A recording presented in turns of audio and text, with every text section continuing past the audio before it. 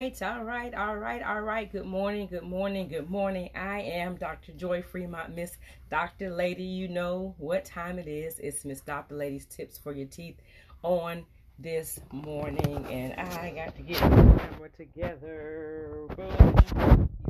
All right, here we go. So I just want to give you a couple tips. So the last few months, you know, we have been going through it. I'm not talking about the cabinets today. I'm talking about just going through every day. We're busy, busy, busy, busy, busy, busy. You see what time it is. I don't see my first patient for two hours, but I'm already in the office. I get here early. I leave here late. So it is what it is. But I don't know how many of you who are out there have this routine where you go, go, go, go, go, and then you get home, you're tired, and you just go to bed. Don't do it. Do not, do not, do not negate. That means do not stop doing what you're supposed to do. You floss your teeth. You brush your teeth. You rinse. Get in, all right? There's no excuse for just falling in the bed and going to sleep.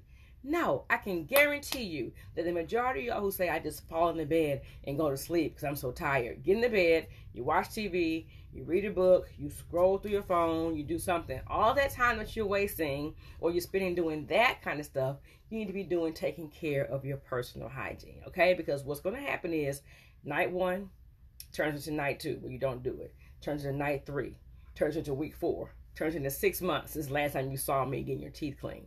Oh, I just forgot that I'm just so tired, okay? Do not neglect your personal care, all right?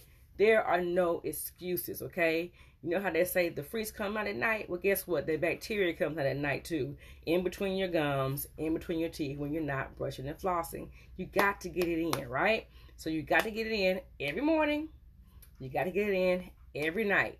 There's no excuses. So please, I don't care how early you get up in the morning and get out the house. I don't care how late you get in at night before you go to bed. Take care of your business and it will take care of you. All right? Right, good morning. Stephanie from New Beginnings Hair Studio. Good morning, Janine Carter from Houston, Texas. We getting it in. Hey. So make sure y'all have a great day. Don't forget tonight, before you go to bed, put that phone down, get in that bathroom, and washy, washy, washy, flossy, flossy, flossy, okay? See y'all soon. Have a great day. Dr. Joi Freemont, 404 761 1659. Have a great day. Talk to you later. Bye.